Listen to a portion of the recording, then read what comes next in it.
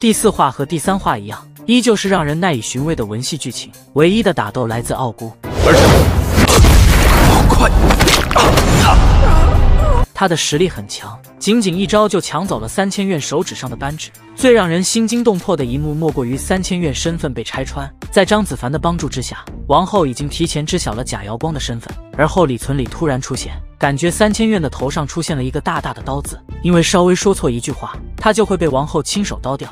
但剧情最大的看点并不是三千院，假扮瑶光肯定是李星云的计划，这一点毋庸置疑。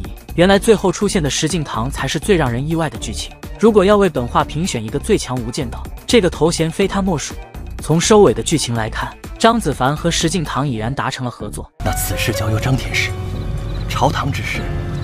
我定当尽力。漠北和齐国的战事交给张子凡处理，朝堂上的事情由石敬瑭善后。两人里应外合，似乎在下很大一盘棋。要知道，石敬瑭可是李思源的心腹，按理来说，他不可能和张子凡达成合作。也是基于这个原因，所以当石敬瑭传达信息的时候，蜀王义等人才会感到害怕和意外。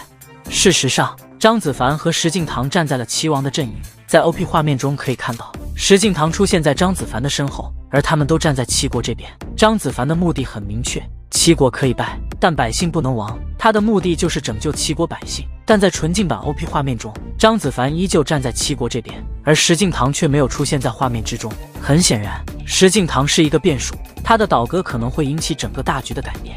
关于第四话中出现的石敬瑭，还有一种可能，他的真实身份就是静心魔。静心魔最早是袁天罡安排在李存勖身边的卧底，对于无间道这件事，静心魔很熟。除此之外，李存礼和王后议事的时候，李存礼故意支开了石敬瑭，不排除李存礼已经开始怀疑静心魔。从石敬瑭俯首屈膝的造型来看。他和静心魔确实有几分相似，而且在第四话开篇的时候，石敬瑭把龙袍交给李嗣源，转身之后的表情也是耐人寻味。